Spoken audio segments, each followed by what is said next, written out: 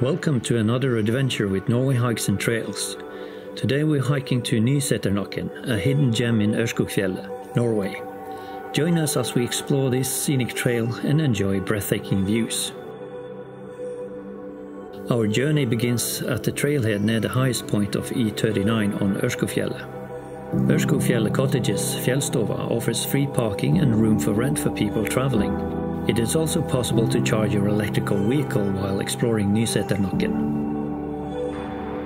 There is also a RV parking 2 kilometers to the northeast of Fjellstova, which is a popular stop.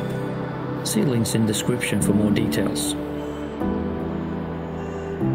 The trail to Nyseternakken is well marked and offers a moderate hike suitable for most fitness levels. As we ascend, the trail takes us through a mix of grassy paths and rocky terrain. The initial climb might seem steep, but the effort is well worth it. Along the way, you will notice beautiful flora and fauna that makes this hike so special.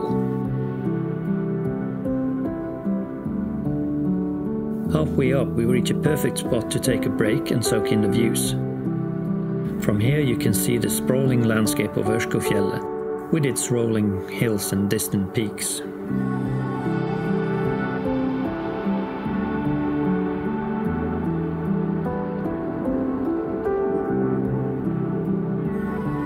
After about 30 minutes of hiking, we finally reach the summit of Nyseternakken. Standing at 549 meters above sea level, the summit is marked by a cairn where you can sign the logbook and leave your mark. The view from the top is nothing short of spectacular. On a clear day, you can see the peaks of Ytstetinden and Sprovstinden, as well as the serene Skorgedalen Valley. It's a perfect reward for the hike.